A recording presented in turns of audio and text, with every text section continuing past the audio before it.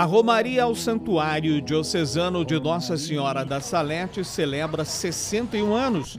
A comunidade se prepara com meses de antecedência para receber os milhares de romeiros que participam do dia de oração e recolhimento. Cada romeiro, movido por momentos de fé e gratidão, por graças recebidas.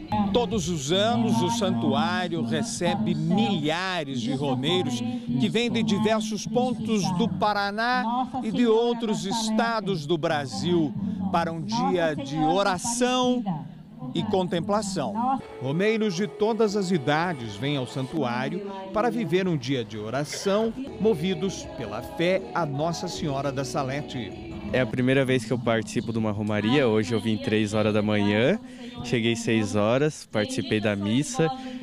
É uma experiência nova. Eu quero me aproximar mais de Deus. Eu sinto que eu fui chamado para mudar. Para mim é uma paz imensa, porque eu gosto de participar dessas coisas. Eu tenho meus amigos que me ajudam também com isso.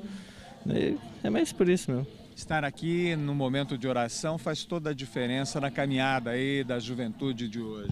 Nossa, com certeza, né? Não tem comparação com outras coisas.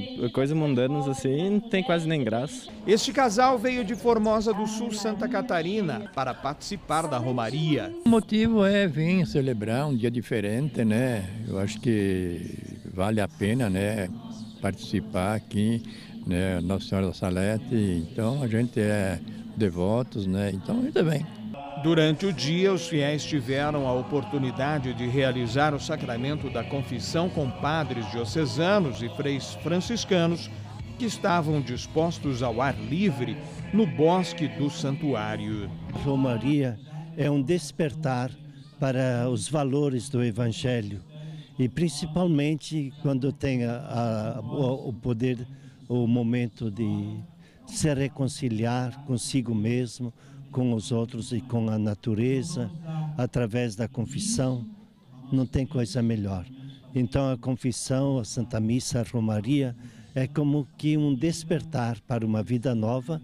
Nesta edição, a Romaria refletiu o tema Mãe da Salete ajuda-nos a caminhar na esperança com a celebração principal às 10 horas da manhã de domingo, presidida pelo Padre Geraldo Macanhã, vigário-geral da Diocese de Palmas e Francisco Beltrão. O santuário tem a grande motivação e objetivo é agregar fiéis para fazer de uma forma unida, mas trazendo também o seu objetivo, a sua oração pessoal, fazer um momento de oração, um momento de agradecimento e um momento de colocar diante de Deus todos os pedidos.